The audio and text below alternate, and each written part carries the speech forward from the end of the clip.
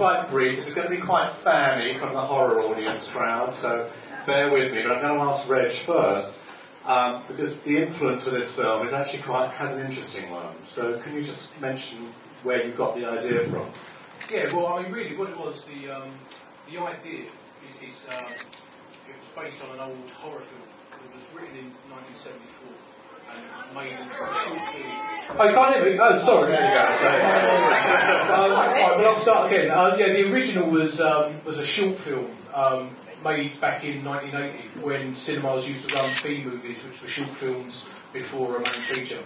And I saw it in the early 80s, and I really wanted to um, to do an adaptation of it. So we got an option on it and made it into what is now Psychosis as a feature film.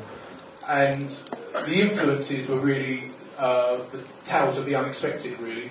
If you remember that, that old show, it's like a feature film version of one of those episodes, or very much like a Hammer House of Horror. That, that, that, that was the influence. Yeah, you said Hammer because you, you wanted it to look like a Hammer film, like an old school sort of like horror movie from the 70s. Yeah, yeah, exactly. I mean, I'm, I'm quite a fan of Hammer, so um, for me it was really to, to make a modern horror film that felt a bit like a film from the 70s, you know, that has that kind of sensibility.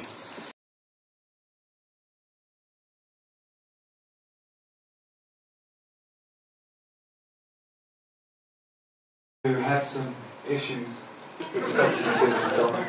There was something about the role that really appealed to me, and I couldn't put my finger on what. uh, I think I've never done any acting and Reg showed me how to do it. It's just varying degrees of looking surprised. yeah, that's the most surprising part. At the very end. Giving too much away, you must have said. No, you, you're sort of like a, a figment of the imagination almost in, in some parts, you? I mean, Um, I'm not sure if uh, I'm a figment of her imagination or it's the other way around. I mean, or am I from the future? I mean, these are questions that everybody asks themselves, so I think everyone here should relate to the thing. I think I related Collins to her glamorous life. You know, she has a stunning husband and who adores her so much, and a beautiful mansion and a wonderful lifestyle. And I think that's very what I imagine Jackie Collins to, to be like when she was much, much younger. And um, nobody got that. much, much younger. Jackie Collins. Somebody gets my humor.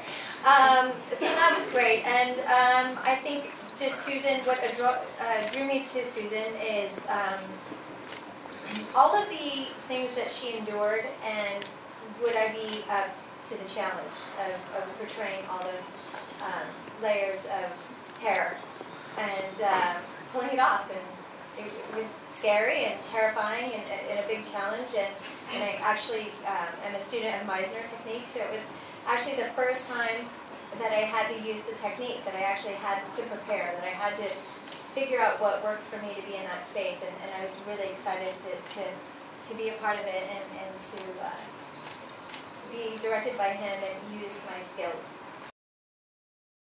Was um, being dropped off at the, at the party and not being able to, like, I don't think you felt like this was your first experience. Maybe you did, but you never seemed like it. And I think we were all so in it together that I think that kind of comes through in the film.